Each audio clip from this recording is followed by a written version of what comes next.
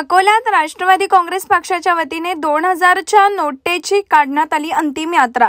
केंद्र शासनाच्या चुकीच्या धोरणामुळे दोन हजार रुपयांची पुन्हा नोटबंदी करून देशातील नागरिकांना त्रास देण्याचा हा शासनाचा मानस आहे.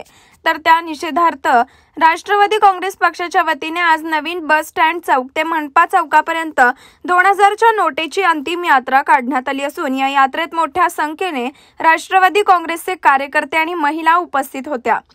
आम्ही आज अकोला जिल्ह्यात राष्ट्रवादी काँग्रेस पार्टीतर्फे दोन हजारच्या नोटची अंतिम विदाईचा करून निषेध व्यक्त करत आहे. कारण सहा वर्षापूर्वी मोदी सरकारने नोटबंदी जाहीर केली होती. आणि त्या नोटबंदीमुळे काळा पैसा परत येईल असे आश्वासन त्यांनी जनतेला दिले.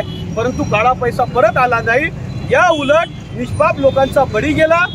आणि त्यावेळेस जी दोन हजाराची नोट छापण्यात आली होती त्यांच्या आर्थिक गणित बिघडल्यामुळे सगळं त्यांनी परत सहा वर्षानंतर दोन हजाराची नोट बंद करण्यात येत आहे असं आरबीआयने जाहीर केलं. त्याच्या निषेधार्थ राष्ट्रवादी काँग्रेस पक्षाने आज दोन हजाराची नोटची अंतिम विदाई करत आमचा निषेध नोंदवला आहे. Bureau report SBN Marathi Akola.